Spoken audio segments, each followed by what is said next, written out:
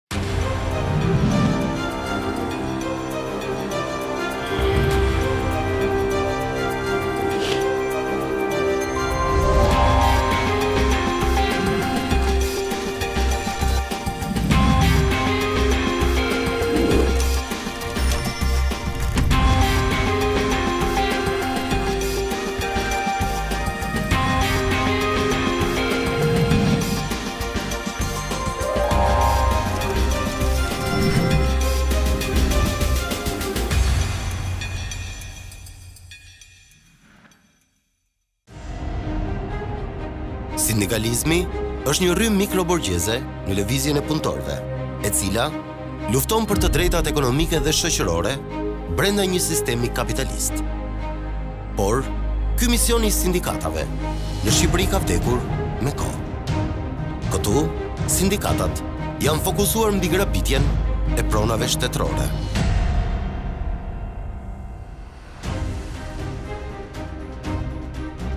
Hotele, vila pushimi, resorte, të cilat duhet ishin të punëtorëve. Sot, të gjitha menaxhohen nga sindikatat. Sindikatave u dhanë pronat, i bënë pronarë. Dhe unë do ta thosha me bindje që pronat shkatërruan sindikatat. Këta oligarkë sindikalistë nuk përfaqësojnë më interesat e punonjësve të thjeshtë. Ç'duan këta drejtues sindikalë që u ngjiten partive politike? Nuk u ngjiten për interesin e punëtorëve, u ngjiten për interesat e tyre.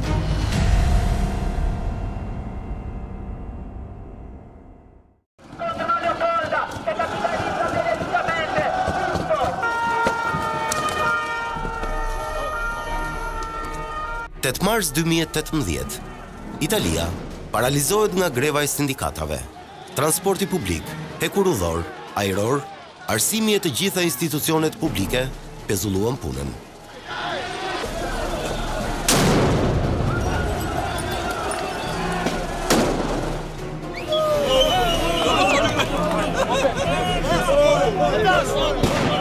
Ndërsa këtu, Jemi në Tiranë. Kjo është protesta e opozitës. Ajo nuk kërkon më as rritje pagash, as kushte më të mira pune. Kërkon largimin e qeverisë.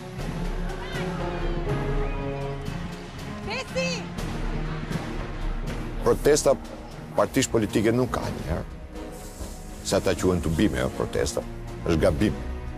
Jo gabim, po nuk di pse e përdorin fjalën protestë, protestë bën sindikata. Në të gjithë këtë trazirë politike shoqërore, sindikatat shqiptare nuk duken gjëkundi. Ndërkohë, numri i punëtorëve që vdesin në vendin e punës sa vjen dhe rritet. Së fundmi, një punëtor humbi jetën në turbinat e një hidrocentrali privat në Tropojë. Një tjetër, u helmua në minierat e Bulqizës, ndërsa pak javë më parë, një naftëtar në Kuçovë u rrëzua nga një lartësi gjatë kohës që po punonte. Ai ndërroi jetë gjatë rrugës për në spital. Ndërkohë, sindikatat nuk duken në asnjë moment. Sindikatat te ne pothuajse nuk ekzistojnë.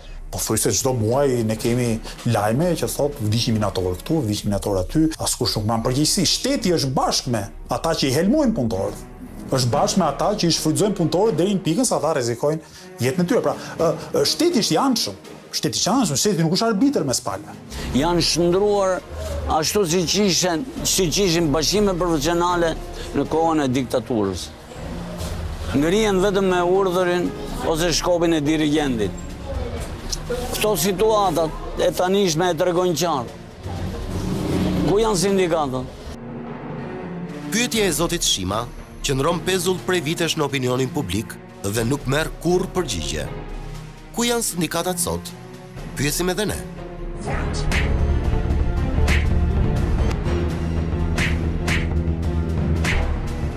Kjo video është e vitit 2018.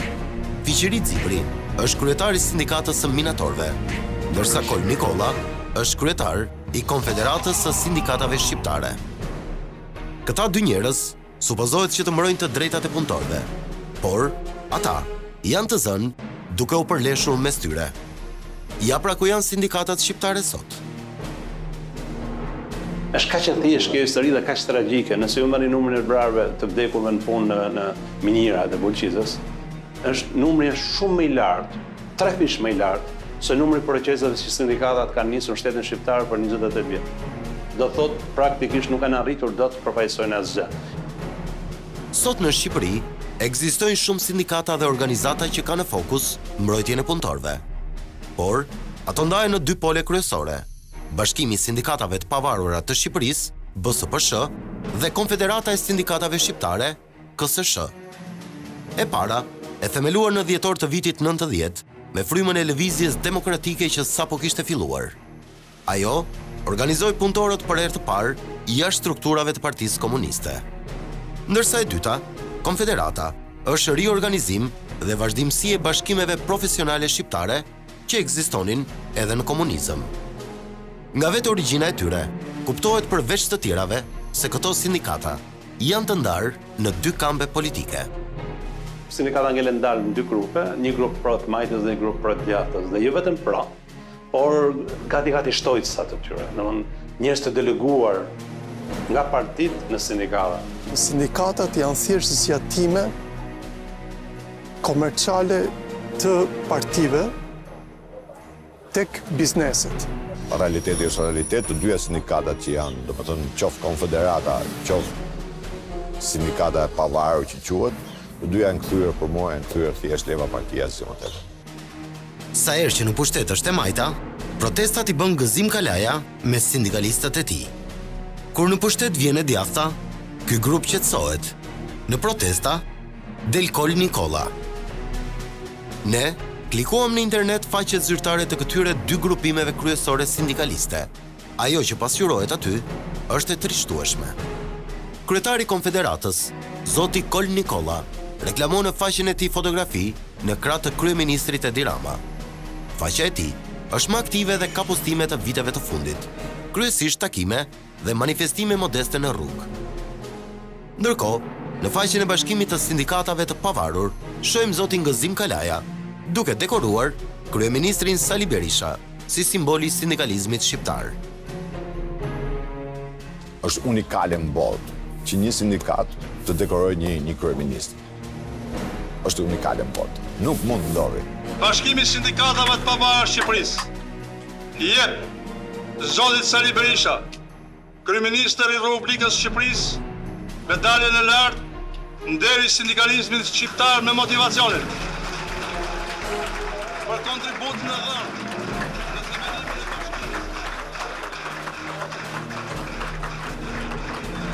Ç'duan këta drejtues sindikalë që u ngjiten partive politike? Nuk u ngjiten për interesin e punëtorëve, u ngjiten për interesat e tyre. Sindikatat angleze janë shumë pranë dhe bashkëpunojnë shumë me Partinë Laboriste Angleze, por për një arsye të thjeshtë, se Partia Laboriste Angleze sheh me përparësi çështjen punëtore.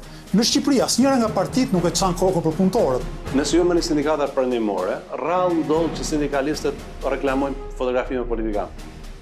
E kanë, është dobësi e tyre nëse s'e bëjnë atë gjë dhe nëse e bëjnë atë humbasin pikë, humbasin vota, humbasin besim. Problemet që ka sot sindikalizmi në Shqipëri janë të shumta, por ne do të ndalemi edhe tek e kaluara e tij.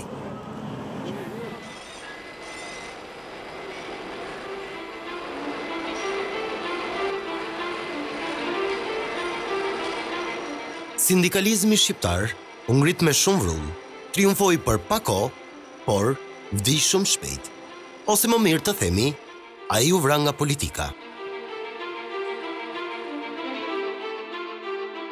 Le të bëjmë një kthim mbrapa në kohë për të kuptuar atë çfarë ka ndodhur në Shqipëri me të drejtat e punëtorëve. Sistemi komunist propagandonte se pushteti i përkiste klasës punëtore. Nuk kishte më pronarë të pasur e punëtorë të varfër. Tashmë, pushtetin e kishin vetë punëtorët. Por kjo ishte një gënjeshtër e madhe. Në fakt, pushteti ishte përqendruar në një dorë të vetme. Punëtorët shtypeshin, shfrytëzoheshin, kishin kushte të këqija pune dhe nuk kishin të drejtë të ankoheshin. Çdo ankesë merrej si propagandë kundër regjimit dhe dënohej me burg. Gjithsesi, me ligjet e asaj kohe, punëtorëve u njihej e drejta që të vetorganizoheshin. Këto quheshin bashkimet profesionale shqiptare. Ato supozoheshin të mbronin interesat e punëtorëve përballë shtetit, por në fakt kjo nuk ndodhte kurrë. Ato ishin instrumente të vetë diktaturës. Krijimi i këtyre bashkimeve parashikohej në kodin e punës në Republikën Popullore Socialiste të Shqipërisë. Neni 14 i këtij kodi shprehet. Bashkimet profesionale të Shqipërisë, si shkolla të komunizmit, zhvillojnë veprimtari të gjithanshme për edukimin komunist të punonjësve, për forcimin e diktaturës së proletariatit, për thellimin e demokracisë socialiste, dhe për unitetin moralo-politik të punonjësve rreth Partisë së Punës. Duket qartë se këto bashkime profesionale i shërbenin partisë dhe jo punëtorëve.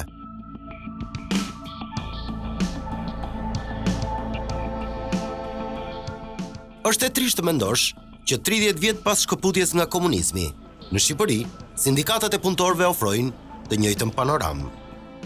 Gjithsesi, në Shqipëri ka pasur një moment kur sindikatat kishin një forcë reale. Kjo ndodhi vetëm në vitin e parë të demokracisë.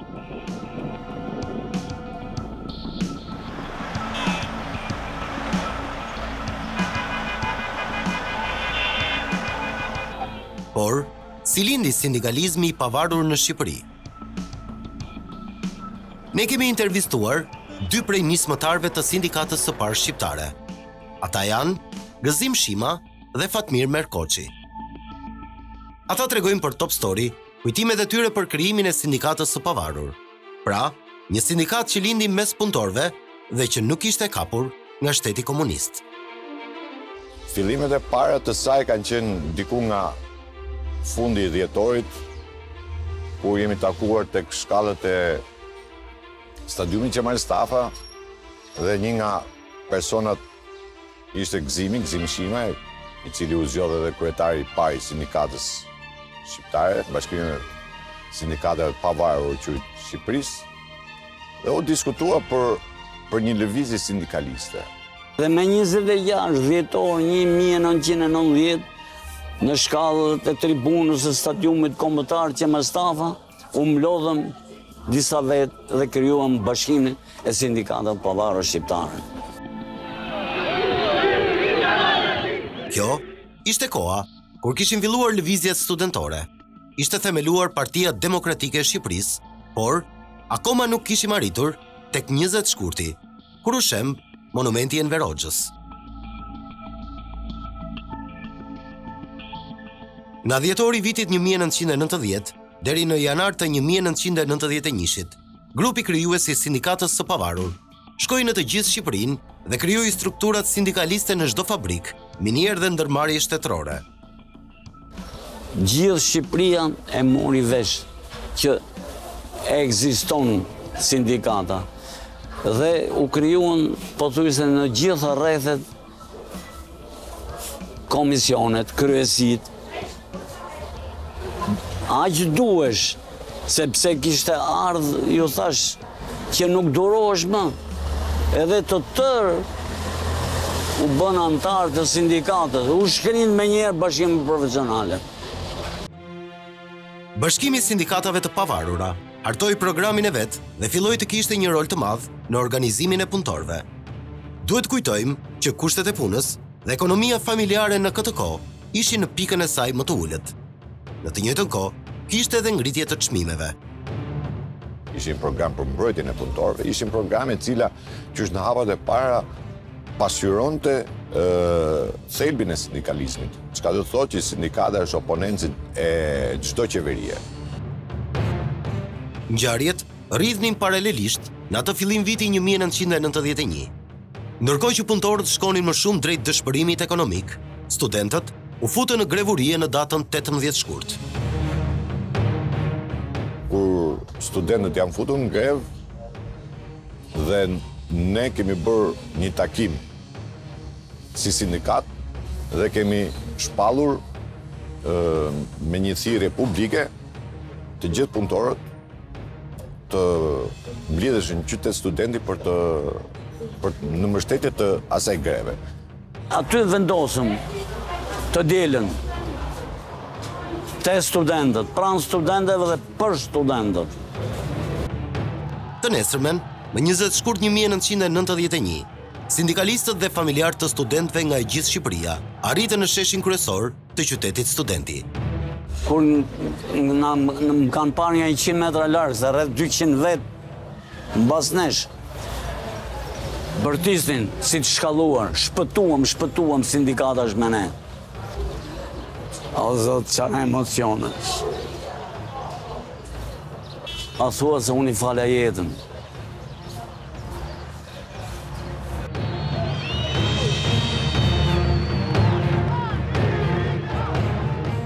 Kjo turmë, që i ngjante një orteku njerëzor, prej Qytetit Studenti zbriti më pas në rrugët e Tiranës për të protestuar para godinave shtetërore.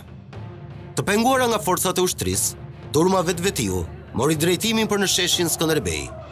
Edhe aty kishte forca të shumta sigurie. Nga të shtënat, mbeti i plagosur rëndë një protestues. Ai ishte Fatmir Merkoçi, një nga drejtuesit kryesor të sindikatës. Ja si i kujton ai ato momente. Ne një grup shumë i vogël arritëm të, të hypim në pjedestalin e diktatorit, aty kam shpalosur një flamur pa yll dhe gjatë kohës që ne godisnim me grushta atë pjedestal, aty kam gjykuar që kjo është rënia e diktatorit, sepse për sa kohë ne arritëm ta, ta, ta pushtojmë, si me thënë. Në atë moment janë përdorur armë dhe kur kam qenë sipër pjedestalit, jam goditur dhe jam plagos për vdekje aty dhe kam rënë. Pastaj më kanë ngritë, më kanë çu në spital e tjera e tjera. Kështu, kjo lëvizje kishte si katalizator studentët, por forcën kryesore ajo e kishte tek sindikatat. Gjë njëzet shkurt e ka bërë sindikata. Nuk e ka bërë, nuk e ka bërë partia. Thashë unë jam themelues i PD-së, por nuk mund të them që e bëra në emër të PD-së, e kam bërë në emër të sindikatës. Ndërkohë, në pushtet vazhdonte të ishte Ramiz Alia si president dhe Fatos Nano si kryeministër. Ekonomia ishte goditur nga inflacioni. Në dyqane mungonin produktet bazë, çmimet rriteshin dita ditës. Ndërkohë kur fabrikat nuk punonin nga mungesa e lëndës së parë, punëtorëve u ndërpritej paga. Bashkimi i Sindikatave të Pavarura mori në dorë fatin e punëtorëve në këtë moment. Ata përgatitën një kërkesë me shtatëmbëdhjetë pika drejtuar qeverisë. Top Story disponon këtë listë origjinale që i është dërguar qeverisë Nano me shtatëmbëdhjetë kërkesa. Nëse i lexon ato, Aty shihen qartë që kryefjala janë punëtorët. Ja cilat janë disa nga kërkesat. Të rritet paga e punonjësve në masën pesëdhjetë për qind për të gjitha degët e ekonomisë, të arsimit, të kulturës, të shëndetësisë. Të rriten pensionet personale dhe invalidore në masën pesëdhjetë për qind. Gratë të mos punojnë më në turnin e tretë dhe dita e punës së tyre të jetë gjashtë orë.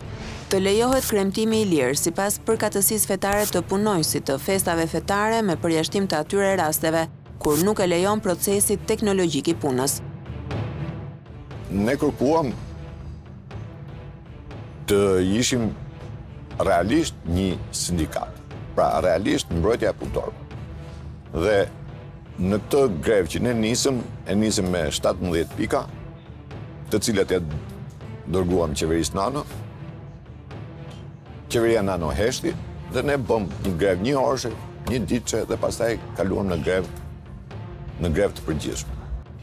Personi që ka firmosur letrën me kërkesa drejtuar qeverisë është Gëzim Shima, kryetar i Komisionit Nismëtar të Bashkimit të Sindikatave. Bulqiza, Batra, Pogradeci, Korça, të gjithë minierat kanë qenë grevë.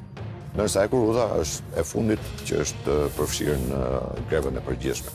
Në atë moment, Shqipëria është e paralizuar totalisht dhe nuk ishte ma asnjë lloj lëvizje.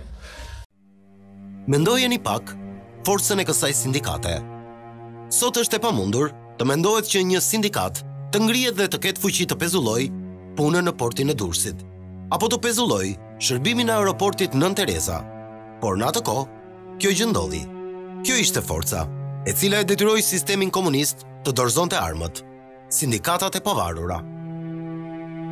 Në pamundësi për të ushtruar detyrën, si rrjedhojë e mungesës së mbështetjes nga ana e forcave politike dhe e bllokimit të veprimtarisë së saj nga grevat, Këshilli i Ministrave pranon të japë dorëheqjen. Qeveria kërkoi hapur bashkëpunim me të gjitha forcat politike e të sindikatave, për të pezulluar grevat të paktën deri në fund këtij viti. Kanë qenë punëtorët, punëtorët e organizuar, të hedhur në grevë të përgjithshme, ata që më pëlqen ta them i kanë thyer shpinën regjimit të shkuar. Pra, ne mendojmë pjesërisht me drejtë se kanë qenë studentët pararoja e atij ndryshimi, por në fakt mos harroni, studentët kanë pas në dorë të lënë mësimin. Punëtorët kanë pas në dorë dhe e kanë bërë të lënë punën. E duke lënë punën, bllokojnë ekonominë e atij vendi, asaj kohe, më falni, e kësisoj ta detyrojnë regjimin e asaj kohe të dorëzohej përfundimisht. Tregoi forcën e një populli për të rrëzuar një qeveri. Dhe ishte qeveria e fundit komuniste, që dorëzohesh pa kushte, vetëm bazë të kërkesave tonë dhe lëvizjes tonë që bëmë ne. Ajo çfarë i ndodhi më pas kësaj lëvizje të pastër sindikaliste është tragjike për fatin e këtij vendi. Kjo forcë e madhe punëtorësh Nuk u prit aspak mirë nga politika. Kjo e fundit u fut pa kuptuar me njerëzit e saj në radhët e sindikatës dhe shkatërroi atë. Partitë politike e panë si kundërshtare rritjen forcën e sindikatës. Ato futën në sindikata njerëzit e tyre. Krijonin grindje artificiale. U futën dhe shumë Hapur po ju them agjentë të vjetër të Sigurimit të Shtetit, që ishin dhe antarë të këtyre partive. Dhe ato e shkatërruan atë sindikatë. Mbas rrëzimit të qeverisë Nano, u bën një, një luftë brëna, brëna kësaj sindikate për ta, për ta marrë këtë sindikatë. Gëzimin, kryetarin, domethënë që ishte Ishte jashtë edhe e telefonun e thanë me sukses do hash kokën e do bësh këtë. Unë pata përplasje shumë të mëdha me sindikatën, mirëpo duke qenë se ishin më të fortë themi. Ta pranojmë, unë unë e pranoj. Ishin më të fortë se ne. Ne ishim më të pakët. Në... Ishin ta më të fortë. Më të fare partia punës. Ishte më e fortë. Një mënyrë tjetër se si sindikata e humbi fuqinë e saj, ishte përmes mbylljes së të gjithë fabrikave dhe ndërmarrjeve shtetërore. Nuk pati privatizime dhe vazhdim të punës, por pati mbyllje masive të prodhimit vendas dhe kur nuk ka më punë, nuk ka punëtor. Aty ku nuk ka punëtor, nuk ka as sindikata. Pothuajse pjesa më e madhe e qendrave të prodhimit në Shqipëri, që kishin numër të madh punëtorësh, kaluan në pushim për shkak të mungesës së lëndës së parë dhe trajtimin me shtatëdhjetë tetëdhjetë për qind të rrogës. Dhe për këtë arsye humbi lidhja midis punëtorëve dhe nevojës së tyre për t'u organizuar. Sepse vërtet ndryshuan një sistem, fituan liri politike, iu mundësua që të iknin në perëndim, punonin me një pagë më të lartë, mirëpo ata që mbetën këtu panë një realitet të, të frikshëm, një realitet ku fabrikat e tyre, ku ata ishin të fuqishëm, pikërisht sepse punonin, sepse kishin në dorë prodhimin, shumë shpejt u mbyllën, një nga një dhe ata përfunduan thjesht pa punë. Në këto kushte, kur sindikata humbi fuqinë punëtore, ishte më kollaj që ajo të blihej nga politika. Dhe është pikërisht ajo që ndodhi.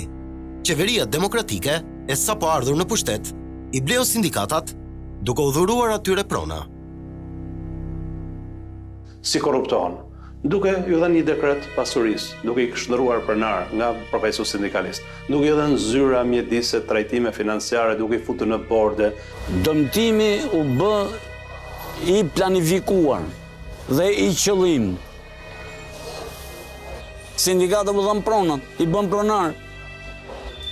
Dhe prandaj gjithmonë erdhi duke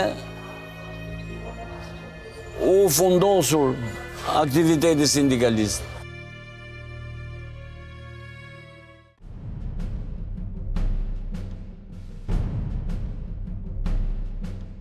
Tani, do të ndalemi tek ajo që është thembra e Akilit në të gjithë çështjen e sindikatave. Pronat që ato kanë marrë në zotërim. Këto asete shtetërore u dhanë me një dekret të ish-presidentit të Republikës, Sali Berisha, numër dyqind e katër, datë zero pesë, zero gjashtë, një mijë e nëntëqind e nëntëdhjetë e dy. Ishin shtëpi pushimi, shtëpiat e pionierëve, pushimit të pionierëve, shtëpiat e punëtorë, ish-shtëpiat e pushimit të punëtorëve, kishte qendra kulturore, zyra të vogla apo godina, godina të mëdha nga veriu në jug. Ajo që më ka bërë përshtypje ishin që Po, pozicioni gjeografik ishte mjaft i volitshëm dhe nga pozicionet më të mira gjeografike, ndoshta edhe për shkak të funksionit që kishin për pushime. Në tregun e sotëm, vlera e këtyre pronave përllogaritet mbi dy miliardë euro. Pasojat që solli zbatimi i këtij vendimi u rregulluan edhe me ligjin me numër tetë mijë e treqind e dyzet fraksion një, datë zero gjashtë zero pesë një mijë e nëntëqind e nëntëdhjetë e tetë. Me këtë dekret dhe me këtë ligj, sindikatat e gjetën veten brenda ditës në administrim të pasurive marramendëse. Neve deshim të bënim diçka të mirë ose shumë nga miqtë e mi, shokët e mi, kryetarë të sindikatës ishin në pozicione shumë të sinqerta dhe të vërteta. Mirëpo nga krerë nuk kuptohesh kjo gjë. E dalëngadalë pronat Ishte pjesa thembra e Akilit për sindikatët dhe unë do të thosha me bindje që pronat shkatërruan sindikatat. Më pas, dy polet kryesore të sindikalizmit bënë një marrëveshje për ndarjen e pronave midis tyre.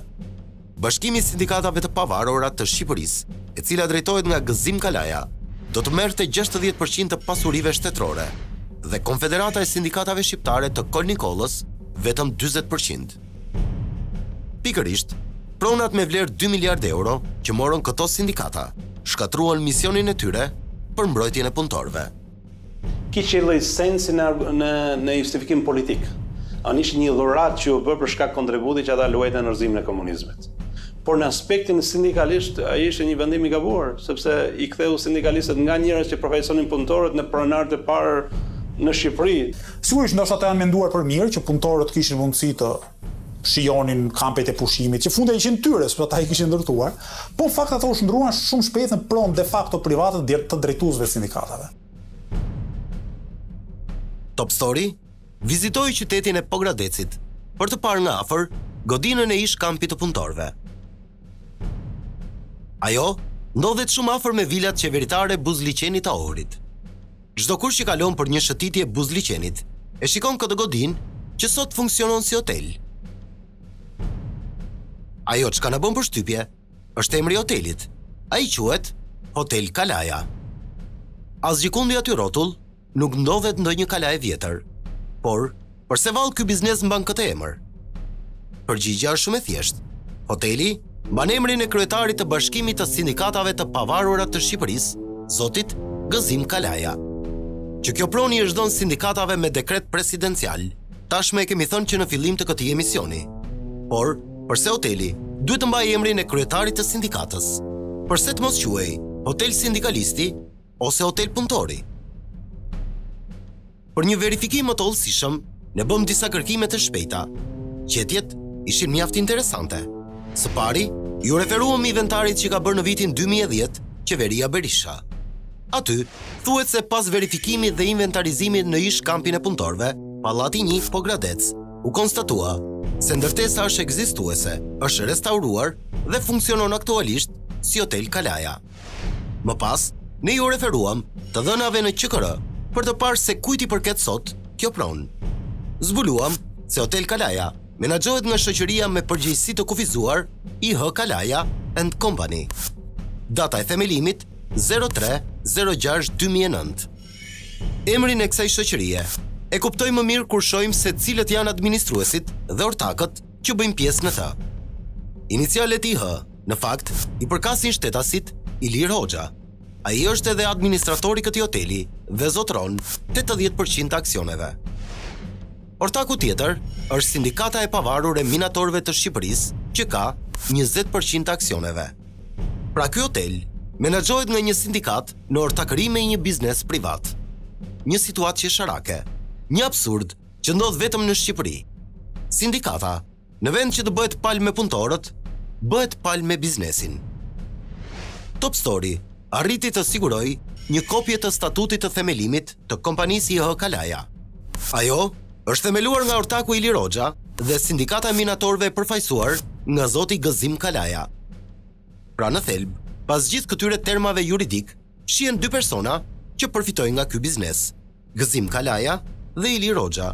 Ky i fundit është një biznesmen nga Elbasani, i njohur për investimet në fushën e hotelerisë. Pra, kryetari i sindikatës Zoti Kalaja, në këtë rast, ka vepruar ndryshe nga shumë objekte të tjera që i ka dhënë me qira. Këtu, ai është bërë vetë aksioner. Dhe si qershia mbi tortë, i vendos hotelit emrin e tij. Këto i morën ato sindikatat e pavarura. Kush e ka sot? Gëzim Kalaja, ka dhe emrin e Gëzim, Hotel Kalaja. Dhe gjënë se ç'është puna e këtij. Këta i kanë pasur bashkimet profesionale. Dhe është krim dhe është turp i botës. I kanë marrë ata, tashi, Kalaja me shokë, sindikata s'kemi. E ç'të të themi. Kalaja, e ka marrë Kalaja vetë dhe funksionon e bën po, sipas qejfit tija. Nuk e dim, këtu punëtorë ne s'kemi parë, vetëm turistë kemi parë, që vijnë shumë kampist. Këtu a lekë të kove. Po, ka emrin Kalaja? Gëzim Kalaja e ka vetë. E ka marrë. E ka ai, ai e mori atë, e sindi ashu po, edhe, ja Saliu me pushtet erdhi, dhe tashi s'kemi sindikata të ngrihemi në revoltë për të përmbysur, çdo lloj qeverie, as s'kemi mundësi do të të të Ne në vend të pushojnë punëtorët këtu që janë me gjithë mend nevojtarë ata që punojnë në veri, në jug, atje në në krom, në minierë, punë pushojnë pushtetarët, pushojnë gjithë miqtë e tyre, vijnë në kampe këtu.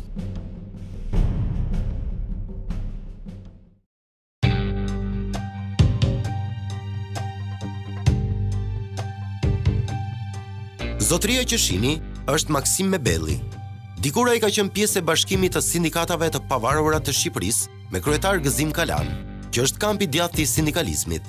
Sot, ai dhe disa kolegë të tij janë shkëputur dhe kanë krijuar federatën e tyre. Arsyeja përse hyri përçarja mes tyre ishte pikërisht administrimi i pronave. Bashkimi i Sindikatave të Pavarura të Shqipërisë kishte në përbërje 10 sindikata. Brenda saj, këto dhjetë sindikata, të njohura ligjërisht, juridikisht, dolën nga bashkimi nga Bashkimi i Sindikatave të Pavarura të Shqipërisë dhe formuan Federatën e Sindikatave të Pavarura të Bashkuara të Shqipërisë. Se Bashkimi i Sindikatave të Pavarura të Shqipërisë thoshte që jam unë pronar dhe unë bëj ça dua me pronat. Jo zotëri, pronar janë sindikatat që aderojnë brenda teje, nuk mund t'jesh ti.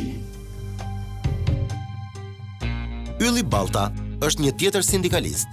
Ai drejton sindikatën e punonjësve të postës, e cila është këputur nga konfederata me kryetar Kol Nikollën. Ai na tregon përplasjet që kanë ndodhur në kampin e majtë të sindikatave. Unë jam prej 10 vjetësh larguar nga Konfederata, edhe do të them arsyen. Kur u bë kongresi ku kryetari i Konfederatës tentonte që të, me me forcë të ndryshonte statutet e Konfederatës, kur dihet shumë mirë që sindikatat janë të pavarur dhe vinë me dëshirën e tyre. Ti s'mund të ndryshosh në statut, t'i thuash që ky neni do hequr se kështu, këtë e vendosin kongreset e sindikatave të tyre. Pikërisht për këtë ne e kundërshtuam. Dhe në kongres, që ai insistoi që e bëri, tetë federata nuk morën pjesë. Vetëm katër morën dhe ai bëri një kongres fiktiv. Pra, zoti Kol Nikolla kërkonte të mbante në dorën e vet, përveç Konfederatës, edhe vendimet që merrte çdo sindikatë e veçantë. Ne atëhere kur e zgjodhëm Kol Nikollën menduam se do të kishte një progres Konfederata dhe Kola ishte një element i ri si të thuash që vinte nga minierat, por zhgënjimi ishte që në vitin e parë. Dhe kjo ishte keq dhe ai tashi fatkeqësisht e ka uzurpuar Konfederatën duke gjurmuar Pronën harroi sindikalizmin, sepse te pronat i kishe të ardhurat që përfitoje dhe harroje lëvizjen sindikale dhe hallet e njerëzve. Këto prona u dhanë me qera tek bizneset private dhe kurrë nuk u përdorën që punëtorët të pushonin me çmime të lira. Pronat i kishte konfederata që i kishte në një dorë dhe por faktikisht unë personalisht asnjëherë s'kam pushuar në kampet e konfederatës. Veçse kur çoja një 100 veta një herë në 2 vjet në kampin o në Durrës o në Vlorë o në Korçë, që i paguanim neve dhe të nesërmen vinte merrte lekët konfederata nga ne.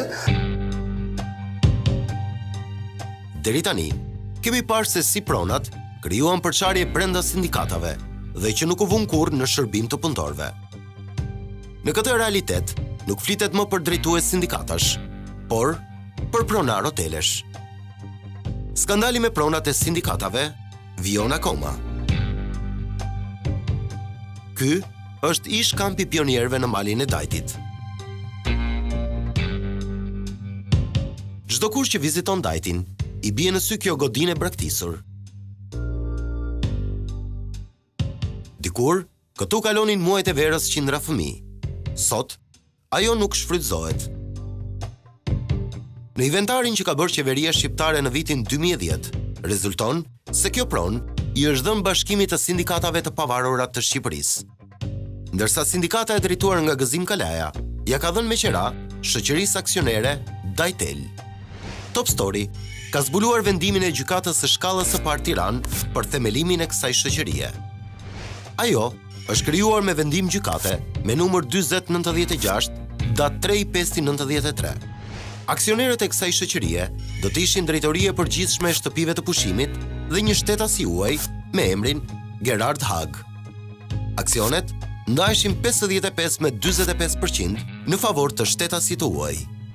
Objekti i veprimtarisë do të ishte rinovimi, mirëmbajtja, administrimi i hoteleve dhe i tokës në malin e Dajtit që kjo shoqëri ka në pronësi. Por, një vendim tjetër i gjykatës në vitin 2005 ka bërë disa ndryshime të kërkuara nga vetë kjo shoqëri. Shoqëria Dajtel tashmë do të merrej nga pronarë të rinj. Shtetasi i huaj Gerard Hag i kishte shitur aksionet e tij tek shtetasi shqiptar Agim Selini.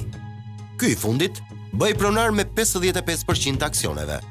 Ndërsa Drejtoria e Përgjithshme e Shtëpive të Pushimit, me një akt dhurimi, i kishte kaluar aksionet e veta tek Sindikata e Pavarur e Punonjësve Civilë, Mbrojtjes dhe Rendit Publik. Kjo sindikatë ishte pjesë e bashkimit të sindikatave të pavarura të Shqipërisë, që drejtohet nga Gëzim Kalaja. Top Story hulumtoi edhe vlerat financiare që do të qarkullonin në këtë shoqëri aksionere. Konkretisht, në çfarë vlere llogaritej prona në fjalë dhe çfarë vlere kapte investimi që do të bëhej. Në aktin e themelimit të shoqërisë Dajtel, në datë 18 i treti 2005, tashmë me aksionerë të rinj, jepen këto shifra. Aksionet që disponon aksioneri Agim Selini janë 345.000 dolarë, ndërsa aksionet që disponon sindikata janë në masën e 280.000 dolarë.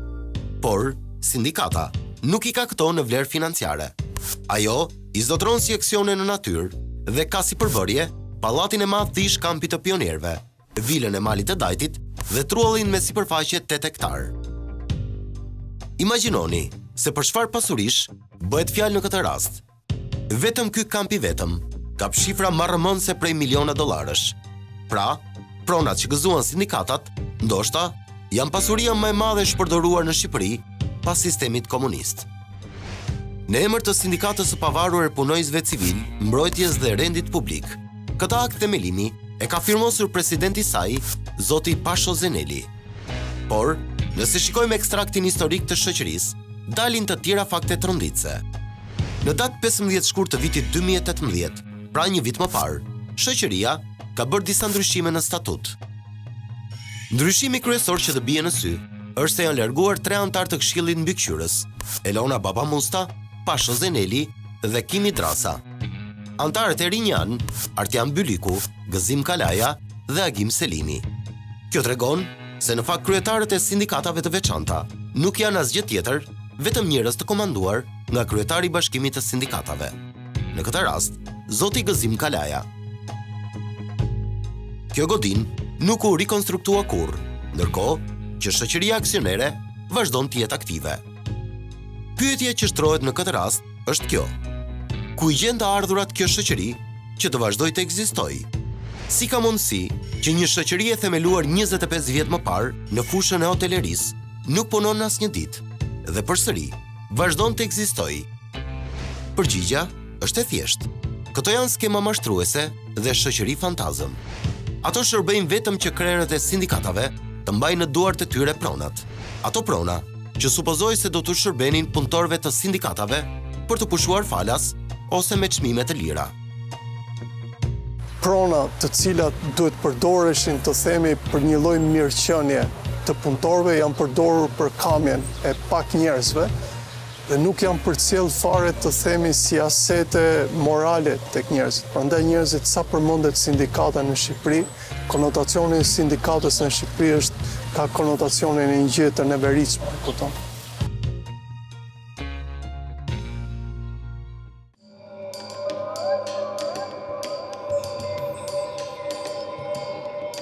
Kur ishte në mandatin e dytë të qeverisjes, në vitin 2009, Sali Berisha riktheu vëmendjen tek pronat e sindikatave. Së pari, kryeministri Berisha ngriti një grup pune për të inventarizuar të gjitha pronat që ishin marrë nga sindikatat në vitin 92. Së dyti, qeveria e tij hartoi një ligj për t'ia kthyer këto prona shtetit. Le të ndalemi fillimisht tek gjetjet e komisionit që verifikoi pronat e sindikatave. Ky është raporti që iu dorëzua qeverisë në vitin 2010. Ky raport tregon gjendjen që kishin pronat e sindikatave gati 20 vjet pasi iu ishin dhënë atyre. Në krye të grupit që bëri verifikimin në terren ishte Dhurata Çupi. Në atë kohë, ajo ishte drejtoresha e Agjencisë së Inventarizimit dhe Transferimit të Pronave Publike. Detyra ishte identifikimi dhe inventarizimi i çdo prone të ish-bashkimeve profesionale.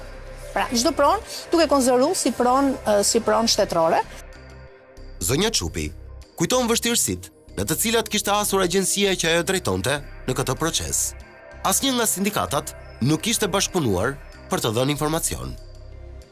Nuk është përgjigjur askush. Mbaj mend një përfaqësues, një zotëri që ndjesë por nuk nuk nuk di ta identifikoj si emër i cili uh, interesohej gjatë pjesës së identifikimit të, të interesohej në mënyrë të vazhdueshme me arsyetimin që ne nuk kemi marrë nuk kemi marrë një pjesë nga kjo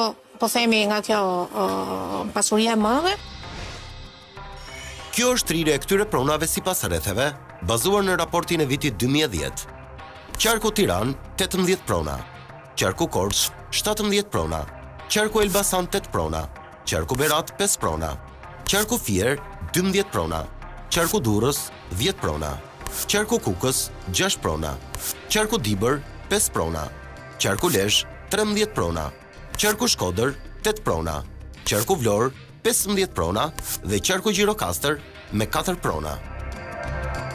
Raporti cilëson se nga njëqind e njëzet e pesë objekte në të gjithë vendin, vetëm dyzet e pesë prej tyre ishin të regjistruara në zyrat e regjistrimit të pasurive të paluajtshme. Pra, hipotekat, Nuk kishin asnjë të dhënë për këto prona. Ndjesha e habitur si ka mundësi që një objekt në këtë pozitë gjeografike, me këtë sipërfaqe të madhe, nuk ke asnjë njollë në, ose asnjë informacion në, në ZRPP. Nuk di të them, ndoshta ZRPP-ja duhet të ketë një njollë të paktën, një hartë ose një njollë të kësaj, të kësaj prone, për shkak se janë ndërtuar të gjitha para viteve, para viteve 90. Në bazë të dokumentave që Top Story disponon, Ne bëmë një verifikim për katër prona të qarkut Tiranë, shtypshkronja njëmbëdhjetë shkurti, Shtëpia e Kulturës Josif Pashko, Shtëpia e Kulturës Kamëz dhe prona e katërt, Shtëpia e Pushimit të Punëtorëve Dajt, Vila dhe ish Kampi i Pionierëve Dajt. Për të katërta këto prona, raporti i inventarizimit të Qeverisë Berisha në vitin dy mijë e dhjetë shprehet Se nuk u gjet asnjë e dhënë në zyrën e regjistrimit të pasurive të paluajtshme. Pra, këto prona nuk ekzistojnë në regjistrat e hipotekës. Por, Top Story disponon një dokument që vërteton të kundërtën. Ky është një vërtetim pronësie i lëshuar nga Hipoteka e Tiranës në 15 mars 1994. Dokumenti Tregon pronat e regjistruar në emër të Bashkimit të Sindikatave të Pavarura të Shqipërisë.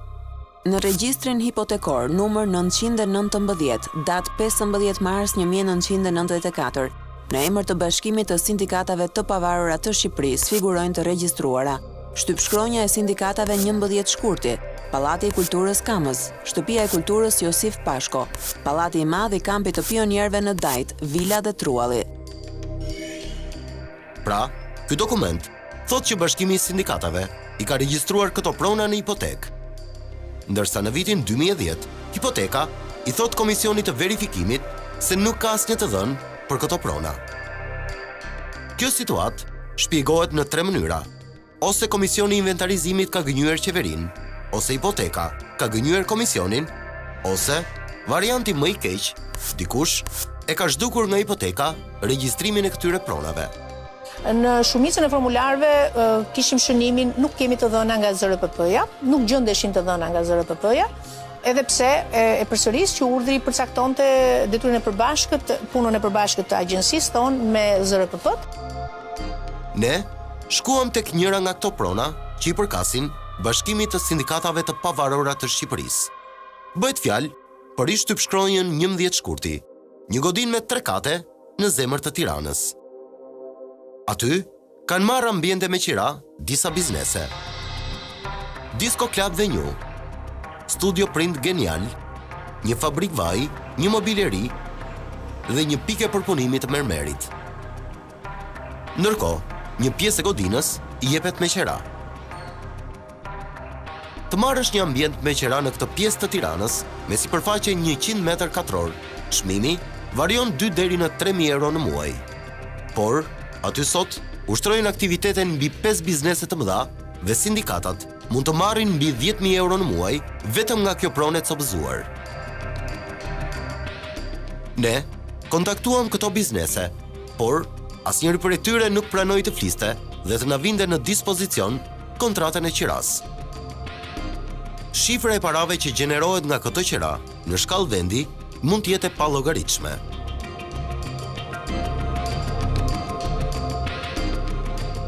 Ky resort turistik në zemër të Malit të Dajtit është ish kampi i punëtorëve, i organizuar në kabina. Kampi sot nuk ekziston më. Kabinat e dikurshme janë zhdukur. E gjitha është kthyer në biznes privat dhe mban emrin King Park. Verifikimi i bërë nga Komisioni Qeveritar në vitin dy mijë e dhjetë konstatoi se Bashkimi i Sindikatave të Pavarura të Shqipërisë e ka dhënë objektin me qira për një periudhë njëzet vjeçare. Ajo që të bën përshtypje në këtë rast është fakti se objekti që sindikata ka dhënë me qera nuk ekziston më. Këto godina janë të reja, të ndërtuara në truallin ku kanë qenë dikur barakat e kampit. Që ta tjetërsosh godinën, do thotë të jesh pronar. Të japësh një tjetri. Dhe t'ia japësh një tjetri, do të thotë të, të kesh tre elementet e kodit civil, ta gëzosh, ta posedosh dhe ta disponosh. Ëm ehm, në gjykimin tim Ato objekte vazhdojnë të mbeten deri më sot, paktën nuk ka asnjë kuadër ligjor që të rregullojë të, të kundërtën, ato vazhdojnë të mbeten prona shtetërore. Kontrata e qeras dhe sasia e parave që merr sindikata nga kjo pronë nuk është bërë asnjëherë publike.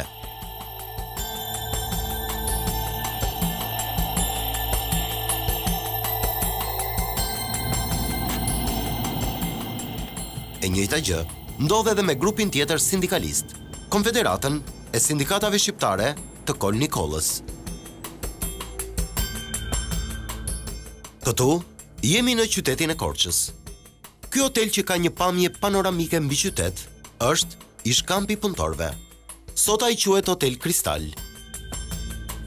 Objektet janë marrë me qera nga firma e ndërtimit Koteko SHPK, përfaqësuar nga zoti Rezart Kote, për një periudhë deri më 31.12.2020. Objekti është dhënë me qera nga Konfederata e Sindikatave të Shqipërisë. Jashtë kamerave, Administratori i këtij hoteli pranoi se kishte një kontratë qeraje me Konfederatën e Sindikatave Shqiptare, por nuk pranoi të jepte intervistë apo të na vinte në dispozicion kontratën e qerasë.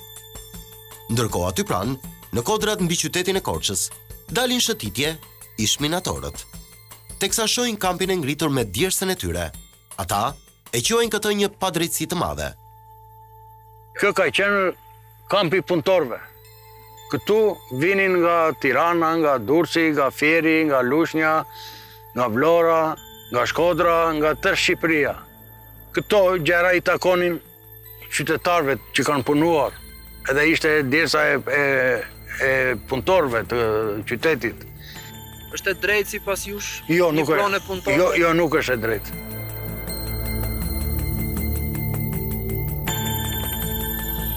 Në plazhin e Durrësit janë edhe dy prona të tjera, që i përkasin sindikatave, por janë dhënë me qera tek biznesi privat. Kjo është ish shtëpia e pushimit të pionierëve, Qemal Stafa. Sot ai njihet ndryshe si kompleksi turistik tropikal. Kjo pronë rezulton se është hipotekuar në pronësi të sindikatës së minatorëve dhe gjeologëve dhe pasuruesve të Shqipërisë. Por në fakt, Aty nuk bëjnë pushime as minatorë dhe as gjeologë. Tropical Resort sot është një kompleks pushimi për turistë shqiptarë dhe të huaj. Askush nuk e di se sa para paguhet sindikata e Kol Nikollës nga ky resort. Por, e sigurt, është që as punëtorët, nuk pushojnë dot në këtë objekt dhe as të drejtat e tyre nuk mbrohen nga sindikata.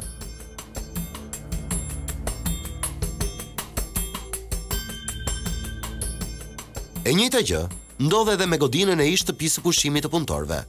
Ajo që sot njihet si Hotel Florida. Edhe kjo si pronë rezulton e regjistruar në emër të sindikatave të pavarura të Shqipërisë në vitin 1994. Sipërfaqja totale e pronës është njëzet e shtatë mijë e treqind metra katrorë. Në datën shtatëmbëdhjetë i dyti një mijë e nëntëqind e nëntëdhjetë e nëntë, Sindikata e Gëzim Kalasë ka lidhur një kontratë qiraje me Perla SHPK për njëzet vjet, e cila përfundon në datë shtatëmbëdhjetë i dyti dy mijë e njëzet. Askush nuk e di se sa para marrin sindikatat nga kjo pronë prej gati tridhjetë hektarësh në bregdet. Këto sindikata nuk i bëjnë publike kontratat e qeras. Në vite, ka pasur edhe një përplasje midis shtetit dhe sindikatave për pronat. Kur në vitin 2005, demokratët morën përsëri pushtetin, Berisha ishte penduar për dekretin e vitit 92. Qeveria e tij, në vitin 2009, hartoi një ligj të ri, Ligjin numër dhjetë mijë e njëqind e pesëdhjetë e nëntë, datë pesëmbëdhjetë i dhjeti dy mijë e nëntë, për shfuqizimin e ligjit numër tetë mijë e treqind e dyzet fraksion një të vitit nëntëdhjetë e tetë. Pra, Berisha donte t'ua merrte përsëri pronat sindikatave për t'i kthyer në pronë shtetërore. Por, krerët e sindikatave e çuan ligjin e Berishës në Gjykatën Kushtetuese. Ata kishin dy pika të forta. Ligji në fjalë cënonte nenin dyzet e një të Kushtetutës që garanton të drejtën e pronës. Ligji cënon liritë sindikaliste të garantuara nga neni pesëdhjetë i Kushtetutës. Gjykata Kushtetuese u dha të drejtë sindikatave dhe pronat u mbetën përsëri atyre. Pas këtij momenti, nuk ka pasur më asnjë përpjekje nga ana e shtetit për t'u marrë me këto prona. Me ligjin e ri për kadastrën, në kuadër të regjistrimit të pronave shtet dhe në kuadër të regjistrimit të përgjithshëm të pronave në Republikën e Shqipërisë, ne do të bëjmë një tentativë për regjistrimin e pronave të sindikatave. Do regjistrojmë pronë shtet, pronë e sindikatës, pronë me probleme, pra me, me çështje gjyqësore, do të regjistrojmë absolutisht sipas situatës ligjore që ka secila. Sipas kreut të kadastrës, nuk janë vetëm pronat e sindikatave të paregjistruara në zyrat e hipotekës, por të gjitha pronat shtetërore janë lënë jashtë vëmendjes në këtë drejtim. Mund ta them në përgjithësi dhe kjo do të të jepte të kuptoje se në ç'derexhe është lënë ky shtet, Ë vetëm 4% e pronës shtet është e regjistruar në zyrën e regjistrimit pasurive të paluajtshme. Pra shteti 96% të pronave të veta nuk i ka të hipotekuara. Kjo situatë është përtej çdo logjike. Kjo nuk është neglizhencë, ky është një krim që është bërë me dashje në këto tridhjetë vitet e fundit.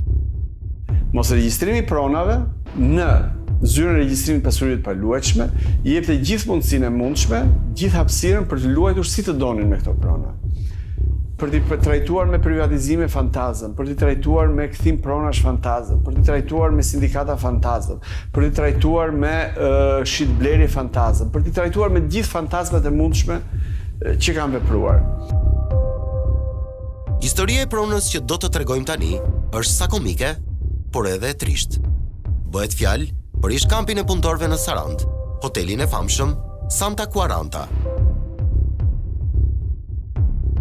Në media dhe opinion publik, ajo njihet si hoteli i Klement Balilit, i ashtuquajtur Escobari i Ballkanit.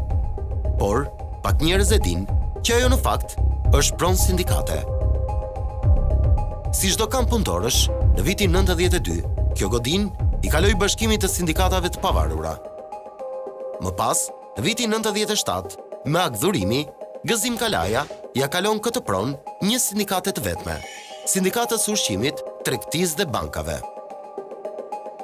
Akti i dhurimit thotë shprehimisht Me aktin e dhurimit zhvishet nga e drejta e pronësisë Bashkimi i Sindikatave të Pavarura të Shqipërisë dhe e vetmja pronare e ligjshme bëhet Sindikata e Pavarur e Ushqimit, Tregtisë dhe Bankave, e përfaqësuar nga Maksime Belli. Ky akt dhurimi është hipotekuar në zyrët e regjistrimit të pasurive të paluajtshme Sarandë, në datën njëzet e nëntë i pesti dy mijë. Por, sindikata shumë shpejt e gjeti veten të hedhur në gjyq nga familja Balili. Gjyqi përfundoi brenda një muaji dhe mori formën e prerë në favor të Bashkim Balilit, vëllait të Klement Balilit. Por, për këtë proces gjyqësor, sindikata, nuk ishte fare në dijeni. Bashkim Balili ka hapur padi, gjoja ka marrë me qira nga Sindikatat e Pavarura të Bashkuara të Shqipërisë ish kampin e punëtorëve. Në një kohë që Bashkimi i Sindikatave të Pavarura të Shqipërisë këtë pronë e ka dhuruar në nëntëdhjetë e shtatë. Ky konflikt pronësie nga viti dy mijë e deri më sot ka shkuar plot tre herë në të katër shkallët e gjyqësorit. Momentalisht pritet një vendim nga Gjykata e Lartë si dhe nga Strasburgu. Maksime Belli dhe kolegët e tij sindikalistë të mbrojtjes së punëtorëve sot kanë përfunduar në menaxher pronash.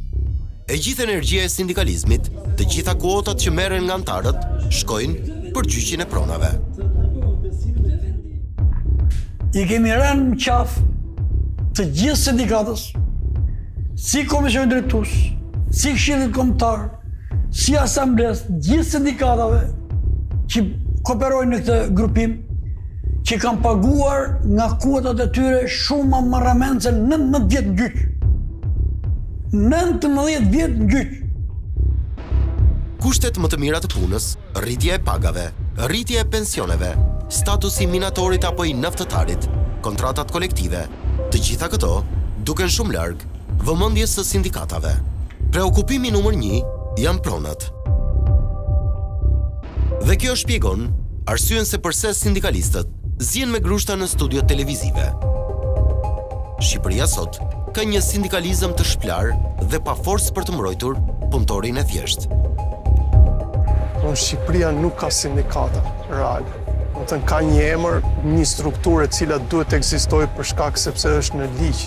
E kështu, po ato nuk përfaqësojnë më se më. Qytetari shqiptar që punon, punonjësi i thjeshtë, sot nuk ka mbrojtje ligjore. Dhe duke mos pasur mbrojtje ligjore, një nga fajtorët kryesorë që s'ka mbrojtje ligjore është pikërisht mungesa e lëvizjes sindikaliste në Shqipëri. Sa kohë kanë minatorët që kërkojnë statusin e tyre? Hm? Dhe pse nuk është bërë? Sepse ata sindikatat që janë, ha, marrin nga i vend pune aty te ministria, ju jabin edhe i zyrë dhe flenë gjumë. Nga njëra anë, sindikalizmin e ka përçarë politika dhe nga ana tjetër, interesi i pronës. Pak vite më parë, gjatë vizitës së homologut të tij italian, Matteo Renzi në Tiranë, kryeministri Rama ftoi biznesin italian të investojë në Shqipëri. Ftesa përmbante nota ironike edhe për sindikatat. Mund të kisha folur, por nuk doja ta vija në vështirësi Matteon, duke iu thënë sipërmarrësve italianë që hajdeni në Shqipëri se në Shqipëri nuk ka sindikata.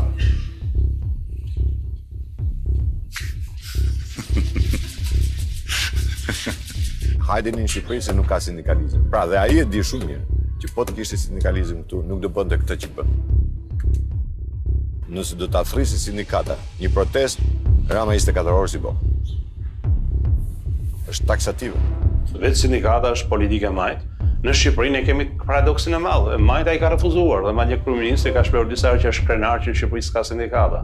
Që po ta përkthesh në gjuhën e huaj, është shumë e vështirë që një anëtar i familjes së majtë europiane ta kuptojë këtë deklaratë.